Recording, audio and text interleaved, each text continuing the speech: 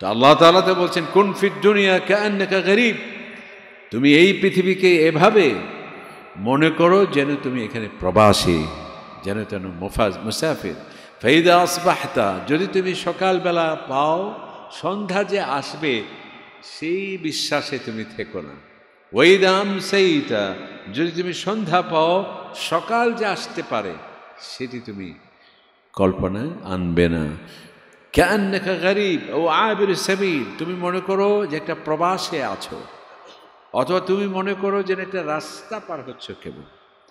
এই জন্য এই দুনিয়ার লোভ, লালসা, ঐশ্বর্য, বৈভব, প্রতিপত্তির এগুলো দম্ভ, অহংকার, যার কাছে নেই তার উপর প্রভাব সৃষ্টি করার একটি কৃত্রিম আনন্দ, এটি কিন্তু আবার মমিনের থাকতে পারে না। হব্বুদ্দুনিয়া রাসু কুল্লে খাতিয়া। নবীকে ইসলাম বলছেন সমস্ত অপরাধের মূল হচ্ছে ওই দুনিয়ার প্রতি প্রীতি অতিমাত্রিক বস্তুবাদী দৃষ্টিকোণ যে দুনিয়ার প্রতি থাকবে পদে পদে আল্লাহ সুবহানাহু ওয়া তাআলা সে নাফরমানি করবে আইউবি মিডিয়া أما بعد فأعوذ بالله من الشيطان الرجيم بسم الله الرحمن الرحيم بل تؤثرون الحياة الدنيا والآخرة خير وأبقى صدق الله العظيم ওসদক রসুলহ নবীল করিম সম্মানিত আলমাই কেরাম মুসল্লি ভাইরা সালাম আলাইকুম রহমতুল্লাহ বরাকাত আল্লাহ রবুল্লা আলমিনের শাহী দরবারে আমরা সুক্রিয়া জ্ঞাপন করছি। যিনি আমাদের আজকের এই পবিত্র জুমার দিনে আল্লাহর ঘরে আজানের এই সুললিত কণ্ঠে সাড়া দিয়ে সুস্থতা এবং ইমানের সাথে আমাদেরকে আল্লাহর ঘরে হাজির হওয়ার তৌফিক দিলেন। আলহামদুলিল্লাহ।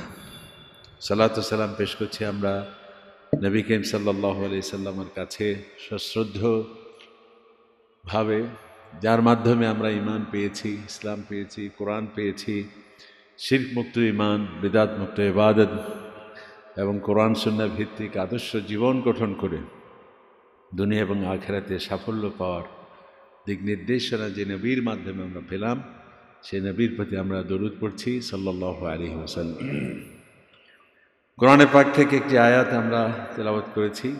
এই আয়াতটি আমাদের সকলের কাছেই মুখস্থ। হয়তো মার্কস মার্কস আমাদের এখন পড়তে হবে আরও বেশি করে। এই আয়াতটি আমরা সকলেই জানি। ইসলাম হলো বাস্তবভিত্তিক ধর্ম, যেটি আমরা প্রায় বলে থাকি। এটা আমাদের বলারই দরকার নেই, ইসলাম বৈশিষ্ট্যই হচ্ছে এটি। ইসলাম ন্যাচারাল ধর্ম, প্রাকৃতিক ধর্ম বাস্তবভিত্তিক ধর্ম। যেটি জটিল, সেটি ইসলাম নয়, যেটি সহজ, সরল, সেটি হচ্ছে ইসলাম। যেটা যৌক্তিক, সেটি ইসলাম, যেটি অযৌক্তিক, সেটি ইসলাম নয়। যেটি জীবন ঘনিষ্ঠ, সেটি হচ্ছে ইসলাম। যেটি জীবন বিমুখ, সেটি ইসলাম নয়। যেটি বাধা, বিপত্তি, সেটি ইসলাম নয়। যেটি সহজ, সরল, সেটি হচ্ছে ইসলাম। ইসলাম দুনিয়া এবং আখেরাতের মাঝে ভারসাম্য রক্ষা করেছে। এই জন্যে আল্লাহ তালা আমাদেরকে শিখিয়ে দিয়েছেন যে দোয়াটি, যেটা শ্রেষ্ঠ দোয়া, রব্বানা আয়াতিনা ফির দুনিয়া হাসানা। আয়াল্লাহ আমাদের দুনিয়াতেও কল্যাণ দাও ওফিল আখেরাতে হাসানা, পরকালও আমাদের কল্যাণ দান করুন। ওখানে আজাব না এবং জাহান্নাম থেকে, কঠিন আজাব থেকে আপনি আমাদেরকে হেফাজত করুন। দুনিয়া অনেকে আমরা এমন আছি যে আমাকে ধার্মিক হতে হলে দুনিয়াকে ভুলে যেতে হবে। দুনিয়ার কোনো কাজকর্ম করা যাবে না। আমি বনে জঙ্গলে চলে যাব। নির্জন, একাকী, সমস্ত সংসারের মায়া সব কিছু ছেড়ে দিয়ে পাহাড়ে চলে যেতে হবে। ভিক্ষুক হয়ে মানুষের দ্বারে দ্বারে নিজের ব্যক্তিত্বকে বিসর্জন দিতে হবে। এটাকেই আমরা অনেকে ধার্মিকতা মনে করি, না। আল্লাহ নবী এরশাদ করছে লা রহবানিয়াত ফিল ইসলাম। এই ধরনের কোনো বৈরাগ্যের ধর্ম ইসলাম নয়। বৈরাগ্যকে ইসলাম? সমর্থন করে না। যে আমি বিয়ে সাথে করব না। আল্লাহ সুবহান তালা দেহা নেই আমি মগ্ন থাকব। যেটি বিভিন্ন আদর্শে, বিভিন্ন ধর্মেও সেটি দেখা যায়। যে ঘর, সংসার সব কিছু ত্যাগ করে চিরকুমার হয়ে সে আল্লাহ সুবহান তালার ধ্যানে মগ্ন। এই ধরনের বাস্তবতা বিরোধী অবৈজ্ঞানিক কোনো কনসেপ্ট ইসলাম সমর্থন করে না। এই জন্য আল্লাহ রসুল বলছেন যে আর নিকাহ মিন সুন্নতি, বিয়ে আমার সুন্না ফমাল্লাম ইয়া আমাল বিসুন্নতি আমার এই সুন্নাকে যারা গ্রহণ করবে না, সে আমার উম্মত নয়। এর মানে কি? বৈরাগ্য, সংসার বিরাগী ধারণা, এগুলো ইসলাম সমর্থন করে না। বরং আল্লাহ তাআলা কোরআন কেরিমে বলছেন, আমি যত নবী এই পৃথিবীতে পাঠিয়েছি, সমস্ত নবীরা জানা রহমজওয়াজা তারা কেউ ধর্মের নাম দিয়ে সংসার বিরাগী হয়ে বউ ঝি সন্তান ফেলে দিয়ে বন জঙ্গলে জিকিরের মধ্যেই মশগুল কেবল ছিলেন না। ও জান আলহমা জোয়াজা, তাদের কি ছিল? পরিবার পরিজন ছিল, তাদের সন্তান সন্ততি ছিল, তাদের স্ত্রী ছিল ওদুরিয়া এবং সন্তান সন্ততি ছিল। আমাদের এখনও এক ধরনের ধারণা, যখন কোনো মানুষের দশ বারো জন ছেলে হয়, এ কীভাবে পেশাব হলো? এত সন্তান সন্ততি তার। দুটি হ্যাঁ? মনে হয় যেন ছেলে সন্তান হলে সে আল্লাহ তালার বলি হতে পারবে না অথচ আল্লাহ তালা বলছেন যে, নবী যারা, তারা কেউ ধর্মের নাম দিয়ে বৈরাগ্য ধারণায় বশীভূত হয়ে সন্তান সন্ততি, স্ত্রী পরিবার পরিজন গ্রহণ করা থেকে কেউ বিরত ছিলেন না বরং এই সংসার গঠন করাকে আপনাকে ধার্মিক হওয়ার পরিপূর্ণতা লাভের একটি অপরিহার্য অংশ হিসেবে আল্লাহ নবী ঘোষণা করছেন। যে ব্যক্তি বিয়ে করল, ঘর সংসার করল, সে কি করল? আয়নাহুল্লাহ আলা সতের দিন। সে যেন ধর্মকে যদি একশো ভাগ করা হয়, পঞ্চাশ ভাগ এই যে বিয়ে করল, তার মাধ্যমে তার পরিপূর্ণ হয়ে গেল সুবহান আয়নাহুল্লাহ আলা সতরি দিনহি, যে ব্যক্তি বিয়ে করল, ধর্মের অর্ধেক যেন সে পরিপূর্ণ করল। ফলিয়ত্তাকিল্লাহ হাফিনিসফিল বাকি বাকি অর্ধেক সে অন্যান্য আমলের মাধ্যমে পরিপূর্ণ করবে। তার মানে হচ্ছে, বৈরাগ্যের কোনো ধারণা ইসলামের মধ্যে নেই। এমনকি আরেকটি হাদিসে নবীকে ইসলামের সাথ করছেন, যাতে আমাদের এই এই ধরনের কুসংস্কারে যাতে সে বিশ্বাস করে এই জগৎ থেকে হাত পা গুটিয়ে নিয়ে ধার্মিকতার নামে যাতে অবাস্তব কোনো ধ্যান ধারণা তার মধ্যে না জন্মায়। সেই জন্য নবী কেবসা ইসলাম আরেকটি হাদিসের সাথ করছেন, মান আরাদাইয়াল কাল্লাহ তাহেরা মুত্তাহারা যদি তোমরা পবিত্র চরিত্র নিয়ে আল্লাহ তালার সাথে দেখা করতে চাও ফালিয়েতে জৌজ তাকে বৈরাগ্য নীতিতে বিশ্বাসী হয়ে, কর্মবিখর বিমুখ হয়ে, সংসার ত্যাগী হয়ে বসে থাকলে হবে না। ফালিয়েতে জৌজ তাকে বিয়ে করতে হবে, সংসারে আসতে হবে। এভাবে আরও অসংখ্য হাদিস আছে। এই জন্যে ইসলাম বাস্তবভিত্তিক ধর্ম কোনো বৈরাগ্যের প্রতি। কোনো ধরনের কাজ, কর্ম সব কিছু ছেড়ে দিতে হবে ধর্মের নাম দিয়ে। এই ধর্ম ইসলাম ধর্ম নয়। বরং আল্লাহ তালা সাদ করছেন ফ্যান্তাসিরু ফিল যখন নামাজ শেষ হয়ে যাবে, তার মানে এই নয় যে আজান হলো, তুমি এখানে আসলে ঘণ্টার পর ঘণ্টা সারাক্ষণ এখানে বসে থাকবে, আমার তসবি পাঠ করবে তামিদ পাঠ করবে। তোমার ছেলে, সন্তান, রাষ্ট্র, দেশ, জাতি, তাদের জন্য কিছুই করতে হবে না। শুধু ধার্মিকতাই এখানে নাম দিয়ে বসে থাকবে। সেই ধর্ম ইসলাম নয়। ফ্যান্টাসিরু ফিল অর নামাজ শেষ, বেরিয়ে পড়ো। ফিল অর্দে কলে কারখানা অফিসে, আদালতে। অর্থাৎ আমার এই পৃথিবীতে। কেন বের হবে? আড্ডা মারার জন্য নয়। গল্প গুজবের জন্য নয়। বিনোদনের জন্য কেবল নয়। ওয়াবতাগু মিন ফাদলিল্লাহ। আমি যে রিজেক্ট দিয়েছি তোমাকে সেই রিজিক অনুসন্ধানে তুমি বেরিয়ে পড়ো সুবহান এবং মসজিদ থেকে বের হওয়ার দোয়াও আপনাকে সেই বার্তা দিচ্ছে যে ইসলাম বৈরাগ্যের ধর্ম নয়, ইসলাম যে কর্মের ধর্ম। আপনি যখন মসজিদের থেকে বের হচ্ছেন, কি দোয়া? আল্লাহম্মা ইন্নি আস আলুকা মিন ফদলিকা। আয়াল্লাহ আমি নামাজ শেষ করলাম। এখন আপনি যে বলেছেন রিজিক অনুসন্ধানে বের হওয়ার জন্যে সেই দরখাস্তটা আমি আপনার কাছে পেশ করছি।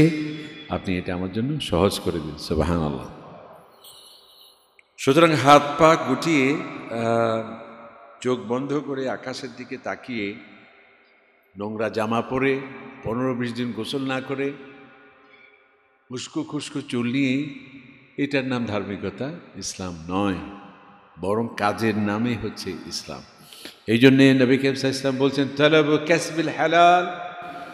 অনেকে বলে যে দুনিয়াদারি কী দরকার? আমার এতগুলো দরকার নেই। আল্লাহ আল্লাহ আল্লাহ। এসে না বুঝে কথা বলছে। তলব ক্যাসবিল হালাল। হালাল রিজিক উপার্জন করা ফরিদা। নামাজ যেমন ফরজ জাকাত দেওয়া যেমন ফরজ, কোরবানি করা যেমন ওয়াজিব। এভাবে আমার ফরজ সমূহের মধ্যে অন্যতম একটি ফরজ হলো হালাল রিজিক অনুসন্ধান করা। এর মানে কি? হালাল রিজিক যিনি অনুসন্ধান করতে যান, কর্মসংস্থান সৃষ্টি হবে, কলকারখানা হবে, দেশ ট্যাক্স পাবে, রাজস্ব পাবে, জনহিতকর কার্যাদি হবে, জাকাত দিতে পারবে এবং তার সন্তান সন্ততিদের তার, তাদের সুন্দর ভবিষ্যৎ গড়ার ক্ষেত্রে সে করতে পারবে।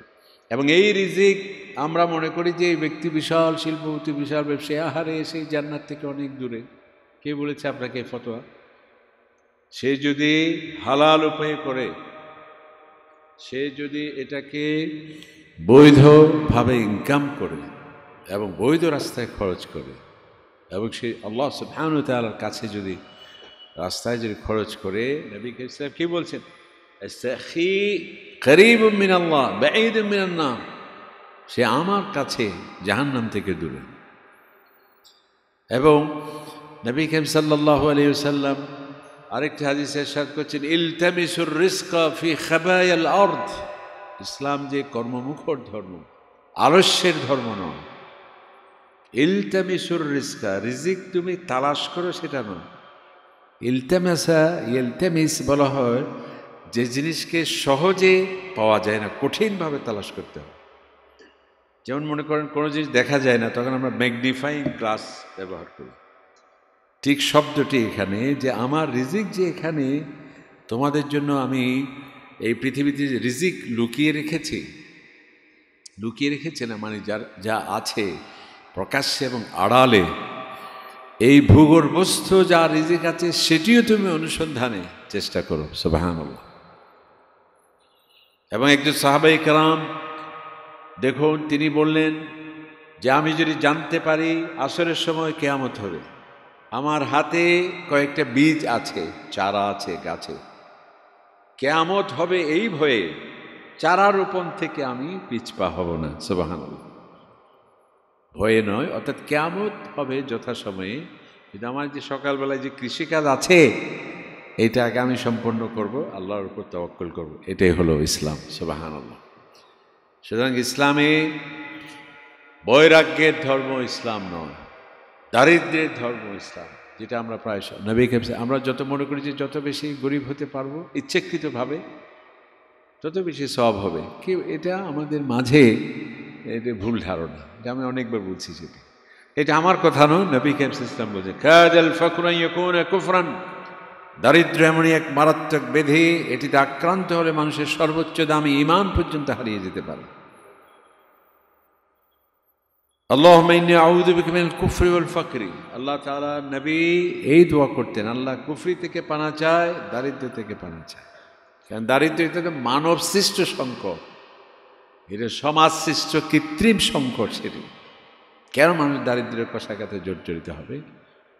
এই পৃথিবী কেবল আপনারই হবে, বাকিরা সবাই দর্শক গ্যালারিতে বসে থাকবে, কে বলেছে? এই পৃথিবীর মালিকই বলছে হুয়াল্লাদি খালা খালাকুম মাহফিল আরদি জামিয়ে সমস্ত পৃথিবীর যা আছে নদ, নদী, সাগর, গাছপালা প্রাণী সম্পদ, যা আছে সব আমি তোমাদের জন্যেই সৃষ্টি করেছি, তোমাদের জন্যে, সকলের জন্য।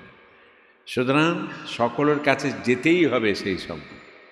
সেটি রাষ্ট্রের মাধ্যমে হোক ওয়েলফেয়ার স্টেট যেটাকে আমরা বলি, সেটি ট্যাক্সের মাধ্যমে হোক সেটি জাকাতের মাধ্যমে হোক সেটি আতিথেয়তার মাধ্যমে হোক, এই জন্যে সমস্ত এই পৃথিবীতে সকল মানুষের জন্য, কেউ আমরা হয়তো বা প্রতিযোগিতায় হেরে যেতে পারি, কেউ বা নানা অপকৌশল গ্রহণ করার কারণে এর মধ্যে ভারসাম্যহীনতা হতে পারে, সেজন্যে সেজন্যই দারিদ্র সৃষ্টি হয়ে যায়। সুতরাং এই দারিদ্রকে দারিদ্র পেলে যে আপনি খুশি হই আলহামদুলিল্লাহ। এটার নাম তারপর এই, এটা বিমোচনের জন্য কোনো কার্যকরী গ্রহণ না করা, ব্যবস্থা গ্রহণ না করা, এটার নাম ইসলাম নয়। বরং হজরতে ইমাম হানিফা রহমতুল্লাহ আলাইহ, সেই বিখ্যাত উক্তি। যখন তিনি গবেষণা করছিলেন, তার মেয়ে এসে বলল যে, বাবা, আজকে ভাত হবে না। আপনি গবেষণা করেন, আলহামদুলিল্লাহ, বহুত ফায়দা হবে। তবে আজকে রাত্রে খাবার হবে না। কারণ কি? খাবারের ব্যবস্থা নেই। তখন তিনি কলম রেখে বললেন, কাগজের উপর কলম লিখে রেখে ইন্নাকে আজ আতিমিরা আইনা মাসানা। তুমি তো এমনই এক দুঃসংবাদ শোনালে, আমার মাথায় যে চল্লিশটা গবেষণা কর্ম ছিল, সেটা ডিলিট করে দিলে। তার মানে হচ্ছে, এই জন্য হাদিস আসছে, যখন মানে অভাবগ্রস্ত হয়, ইস্তেদান, তখন সে ঋণগ্রস্ত হয়ে পড়ে। আর ঈদ ইস্তেদান আর রজল যখন সে ঋণগ্রস্ত হয়ে পড়ে যে হ্যাদ দেখা কেদেব যখন সে কথা বলবে মিথ্যা মিথ্যাই বলবে। ওইদা ওয়াদা আখলাফ যখন সে বলবে কালকে দেবো পরশু যেটা আমরাই করছি। কারণ সে পাচ্ছে না এবং সে ওয়াদা প্রতিশ্রুতি সে ভঙ্গ করবে। সুতরাং সেজন্যে ইসলাম আহ, দারিদ্র্যকে এটাকেই ধর্ম বলা হয়নি আবার প্রাচুর্যকেও কেবল কি নয়, প্রাচুর্যে থেকেছেন বলে আপনি আল্লাহর বলি হয়ে গেছেন। মাশা আল্লাহ আল্লাহ তাআলা আমাকে কত ভালোবাসেন। কি আসছে আমার কাছে, এটাও আবার সঠিক নয়। প্রাচুর্য দিয়েও আল্লাহ তাআলা পরীক্ষা করেন ওরা চাকরান্নাকুমুল হায়াতুদ দুনিয়া আল্লাহ তাআলা বলছেন তোমার এই ঐশ্বর্য, এই বৈভব, এই প্রতিপত্তি, এই দালান বাড়ি, এই স্বর্ণ রৌপ্য সব তোমাকে পরীক্ষা করা হচ্ছে, ওয়াচ করা হচ্ছে। এর চাকচিক্যে প্রতারিত হয়ে তুমি এর প্রভুকে ভুলে যাচ্ছ কিনা? আল্লাহ ওরা চাকুরান্নাকুমুল হায়াতুদ দুনিয়া। দুনিয়ার কোনো চাকচিক্য যাতে সঠিক পথ থেকে তুমি ভুলিয়ে না রাখে। দুনিয়ার চাকচিক্যে পড়ে, লোভে পড়ে, লালসায় পড়ে, আমি হারামকে হালাল, হালালকে হারাম করছি কিনা? আমার যে আসল ঠিকানা সেটা আমি ভুলে যাচ্ছি কিনা? আমার প্রভু যে আমাকে একটা অ্যাসাইনমেন্ট দিয়ে পৃথিবীতে পাঠিয়েছে, সেটা আমি ভুলে যাচ্ছি কিনা? এবং এই সম্পদের আনন্দে উদ্বেলিত হয়ে দম্ভ এবং অহংকার আমার মধ্যে আসছে কিনা? সেটি আমাদের খেয়াল রাখতে আল্লাহ আমওয়ালুকুম ওয়া আউলাদুকুম ফিতনা। তোমাকে যে আমি সম্পদ দিয়েছি, সন্তান সন্তান দিয়েছি, এগারো জন, বারো জন, এমনও আছে যাদের পঞ্চাশ জন আছে, ছেলে একশো জন আছে। আমাদের একজন আছে। আমাদের বলতে অনেক দূরের আর কি, আলহামদুলিল্লাহ। আমি পঞ্চাশ ষাট জনের নামও জানি না, ছেলেদের।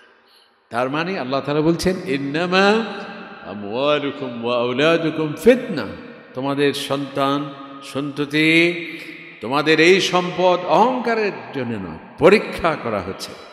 এই জন্য একটা হাদিস আসছে, ওই যে বলা হয়, যার সম্পদ বেশি, তার হিসাব বেশি। এটা তো স্বাভাবিক। অনেকে বলো যে হয়তো আর ডরমান তৈরিতে আর এক বেশি হয়ে গেলাম। শেষ হয়ে গেলাম কোনো? এটা তো বাস্তব। কার যদি একটা দোকান থাকে, তার হিসাব তো সহজ। একদিনের মধ্যে সে পারে আর আমার যদি একশোটা দোকান থাকে, ঢাকায় আছে একশোটা, রংপুরে, সিঙ্গাপুরে, এই জায়গায়, তাহলে আপনার হিসাব বেশি হবে না?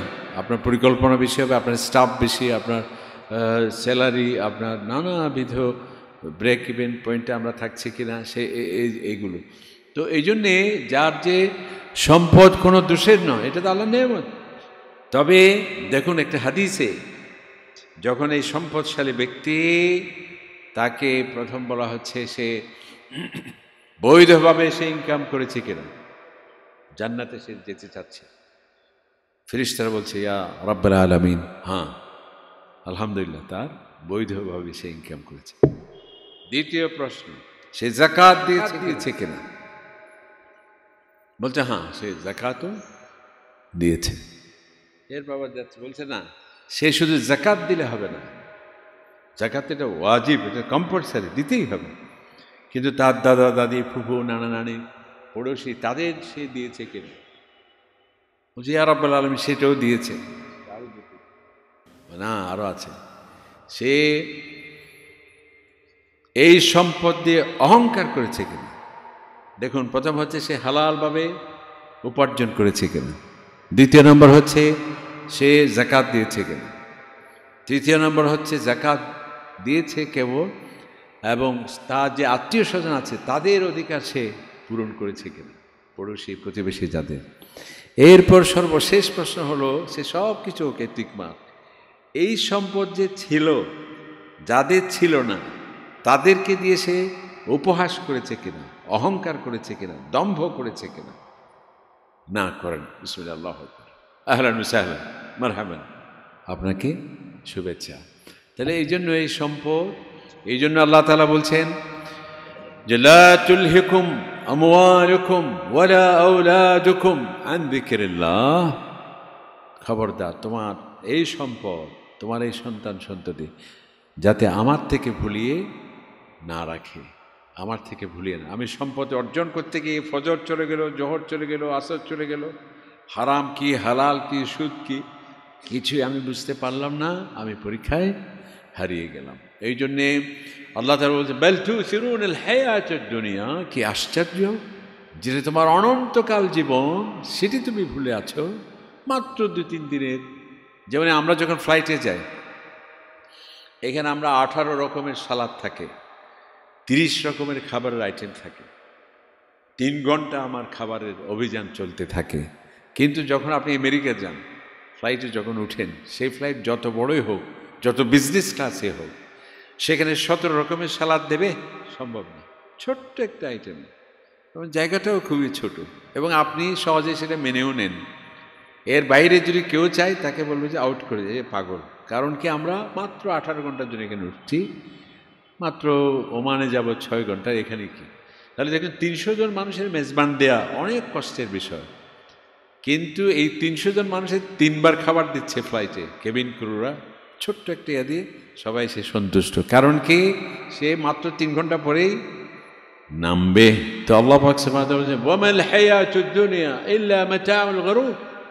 এই ইল্লা খালিল আল্লাহ জায়গায় আল্লাহ বলছে, এই দুনিয়া হচ্ছে, আমরা যে ফ্লাইটে যাচ্ছি তিন চার ঘণ্টা, এর থেকেও ছোট হচ্ছে এই- এই দুনিয়া। সুতরাং ছোট্ট একটা ফ্লাইটে মাত্র তিন ঘণ্টার সফরে ছোট্ট একটি জায়গা, সেটা আমি সামলিয়ে নিই। ছোট্ট একটা বাথরুম এর ডানে বামে একটু যদি হয়, চতুর্দিকে লেগে যাবে। সেটির ব্যাপারে কোনো আমার আপত্তি নেই। কারণ কি? আমি মনে করি যে এখানে সামান্য সময়ের জন্য আসছি। তো আল্লাহ তাআলা তো বলছেন, কোন ফিট দুনিয়া কান্নাকা গরিব? তুমি এই পৃথিবীকে এভাবে মনে করো যেন তুমি এখানে প্রবাসী, যেন তেন মুফাজ, মুসাফির।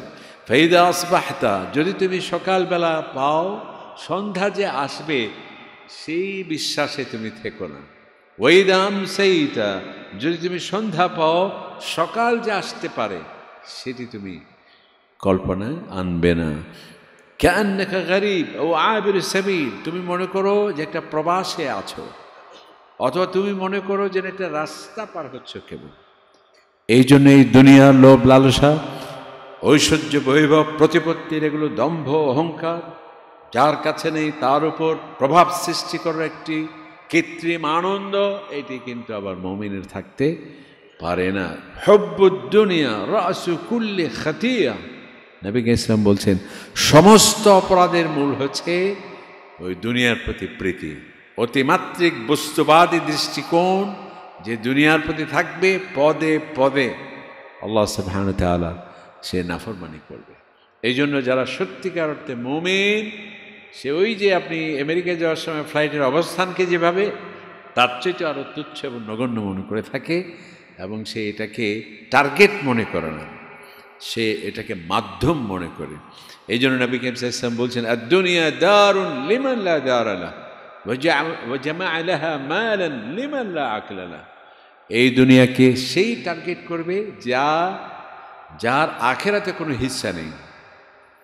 আর এই দুনিয়ার জন্য সেই পাগল হয়ে কেবল ঐশ্বর্য বৈভব প্রতিপত্তির আহরণে, সঞ্চয়নে, বিতরণে, নানাবিধ টেনশনে সেই কেবল থাকবে। লিমাল্লা আকলা রাহু যে যার মাথায় গিলু নেই, যার বুদ্ধি নেই, মেধা নেই। যে মেধাবী, সে তো অনন্তকালের জন্যই কাজ করবে। আর যে অমেধাবী, সে ছোট্ট এই জীবনের জন্যই। আল্লাহ আরেকটা হাদিসে বলছে, আরেকটা বলছেন যে, এই দুনিয়া যদি আমি আল্লাহ তালার কাছে মশার ডানার মতো গুরুত্ব পেত। মশার ডানা। মশার ডানা তো দেখাও যায় না। যদি এটি মশার ডানার চাইতেও বেশি গুরুত্ব আমার কাছে হতো, তাহলে যারা আমার প্রতি ইমান আনলো না, তাদেরকে আমি খাবার পর্যন্ত দিতাম না। কিন্তু এটা আমার কাছে মশার ডানার চাইতেও গুরুত্বহীন সেটি। সেজন্য সাবধান আমাদের ইসলাম কি করেছে? দুনিয়া এবং আখেরাত ব্যালেন্স করেছে। তার মানে এই নয় যে আমি দুনিয়াকে ছেড়ে দেব। দুনিয়া আমাকে করতেই হবে। কেন? আখেরাতে প্রস্তুতি ক্ষেত্র হিসেবে। আর দুনিয়া মজরাতুল আখেরা আপনি যদি পিএইচডি হতে চান ডি অনার্স পাস করতে চান, এসএসসি, এইচএসসি যে কোনো পরীক্ষায় যদি ফলাফল পেতে চান, পরীক্ষার হলে তো যেতে হবে। যদি হলে না যান, তাহলে পরীক্ষায় পাশ করবেন কেমন? তো দুনিয়াটা হলো পরীক্ষার হল। এখানে আমাকে আসতেই হবে। পরীক্ষার্থীর মতো আচরণ আমাকে করতে হবে।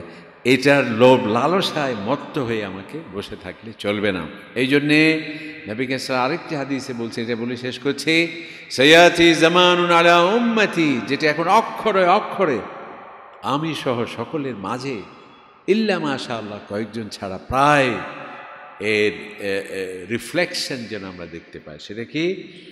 এমন একটি সময় আসবে আমার উম্মতে যারা পাঁচটি গুরুত্বপূর্ণ জিনিসকে অবহেলা করবে পাঁচটি গুরুত্বহীন জিনিসকে গুরুত্ব দেবে। যদি তাই হয়, উলাইকে বরং মিন্নি ওয়ানা বেরি মিনহুম, তাদের সাথে আমার আমার সাথে তাদের কোনো সম্পর্ক নেই। কি কি? এক নম্বর হচ্ছে ইহব্বনের দুনিয়া ওয়েন ওয়ানসৌনুল অকবা তারা দুনিয়াকেই বস্তুবাদী দৃষ্টিকোণ থেকে অতিমাত্রিক ভালোবাসবে। ওয়েন ওয়ানসৌনুল অকবা আখেরাতকে তারা ভুলে যাবে। ইহেব্বন আল মাল, ঐশ্বর্য, বৈভব, সম্পদ, এগুলোকে সে মহব্বত করবে। ওয়ানসৌন আল হিসাব, এর যে জার্রা জার্রা বরাবর যে হিসাব দিতে হবে, সেটিকে সে ভুলে যাবে। ইহেব্বন দুয়ার, সে ধর, ঘর, বাড়ি, দালান, কোটা, ফ্ল্যাট, ডুপ্লেক্স, কী কী আছে, ট্রিপ্লেক্স, এগুলোকে সে বেশি মহব্বত করবে। এটাই তার জল্পনা কল্পনা থাকবে। ওয়েন সাউনাল কুবুর এবং ওই যে কবরের যে তার যে একটা ছোট্ট ঘর আছে, যেখানে লাইট নেই, যেখানে খাট নেই এবং আসবাবপত্র কিছু নেই, সেই ঘরকে সে ভুলে যাবে। সে সন্তান, সন্ততি, এগুলোই কেবল তার কাছে টপ প্রায়োরিটি থাকবে। হুর এবং তার যে জান্নাতে হুর, গেলমান থাকবে, এগুলোর কোনো আকর্ষণ তার মধ্যে থাকবে। ইহেব্বুন নেফসা সে আত্মকেন্দ্রিক হবে সেলফিস্ট হবে। কীভাবে, কোথায় শুধু নিজের চারানা কোথায় লাভ আছে, এটাই কেবল সে দেখবে। অন্য সব ক্ষেত্রে সে অন্ধ থাকবে। এই হচ্ছে তার ওয়ানসৌন আল্লাহ, আর আমি আল্লাহ তাকে এত কিছু দিলাম, তার সম্মান পেল, আমি দিলাম তার সম্পদ, আমি দিলাম তার সন্ততি, আমি দিলাম সব কিছু, আমি দিলাম, যে দিল তাকে সে ভুলে গেল, নিজেকে নিয়ে ব্যস্ত রইল। আমার সাথে তাদের সম্পর্ক নেই। তাদের সাথে আমার সম্পর্ক। আল্লাহ পাকসাবান তালা আমাদেরকে এই সঠিক কথাগুলো বুঝার তৌফিক দান করুন। আমি আইউবি মিডিয়া অপসংস্কৃতি মুক্ত আধুনিক ভিডিও সেন্টার।